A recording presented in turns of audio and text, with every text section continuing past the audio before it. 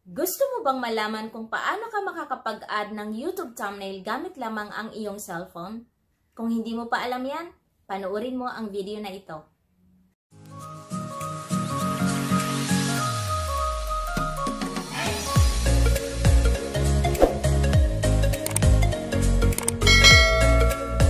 Hello everyone and welcome back once again sa aking channel.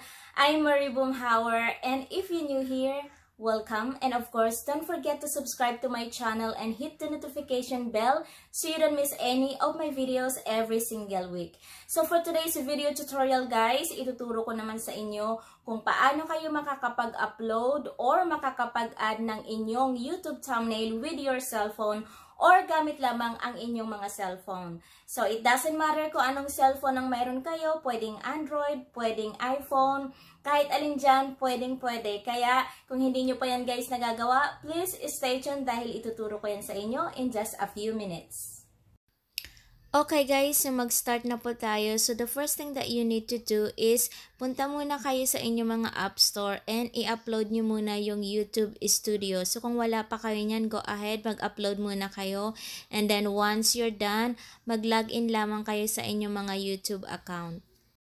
And then, go to your dashboard and click on videos. And then, hanapin nyo lang guys yung video na gusto nyong i-edit at lagyan ng thumbnail.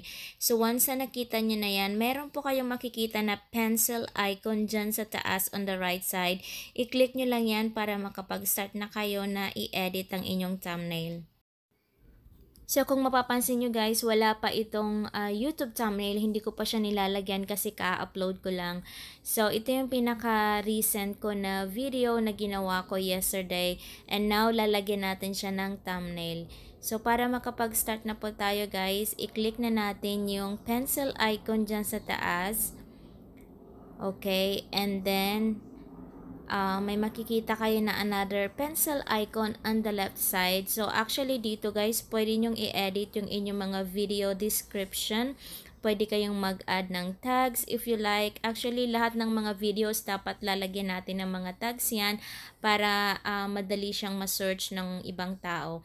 Okay, then after that, meron kayo makikita na option sa baba. Actually, lalabas dyan kung ano yung gusto mong gamitin na thumbnail, thumbnail for your um, video.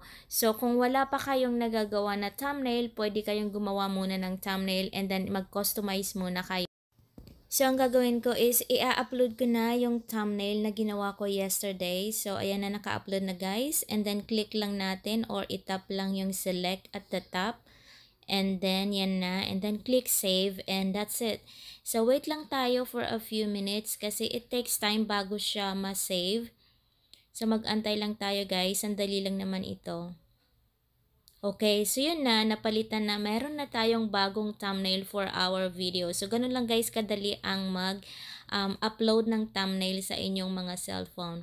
So, i-check natin guys, punta tayo sa YouTube, tingnan natin kung napalitan na ba or kung meron na tayong um, YouTube thumbnail. So, ayan, nakikita ko na guys, yung first video, meron na siyang YouTube thumbnail na upload na and nakikita ko na. So, ganun lang guys, kadali ang mag-upload ng thumbnail sa inyong mga cellphone. It's easy as 1, 2, 3, hindi nyo na kailangan ng laptop. So, if you have any questions, mag-comment lang po kayo and sana ay may natutunan kayo sa video tutorial na ito. And thank you so much for watching guys and I'll see you on my next one. Bye!